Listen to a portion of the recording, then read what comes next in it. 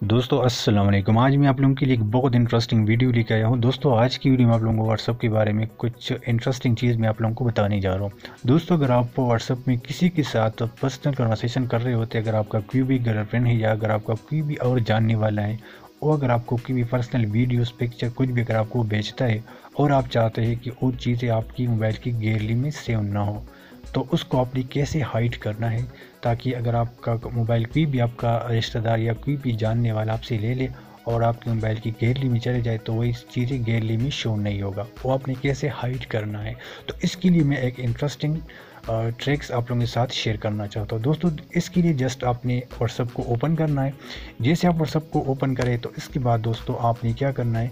For example यहाँ पे आपका कोई भी दोस्त है आपको कोई भी चीज़ पर्सनल भेजता है तो आपने इसकी यहाँ प्रोफ़ाइल पे क्लिक करना है, ठीक है? ये जो आपको नज़र यहाँ पे आ रहा है, ठीक है, आपने इस प्रोफ़ाइल पे क्लिक करना है। जैसे आप इस पर क्लिक करें तो आपको इस तरह का इंटरफेस देखने को मिल जाएगा।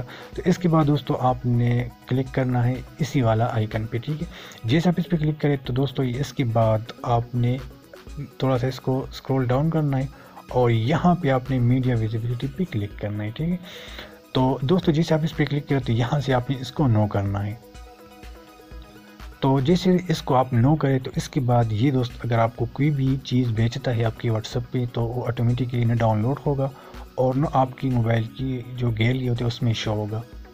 तो इसको अगर आप कोई भी चीज़ अगर आप देखना चाहते हैं तो आपको यही व्हाट्सएप पे आना होगा।